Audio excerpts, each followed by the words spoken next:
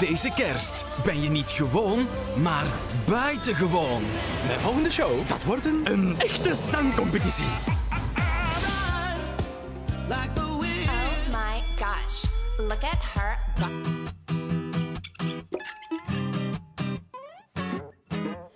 Van de makers van Verschrikkelijke Ikke en de Minions. Madame in rayon dat was ongelooflijk. Sing!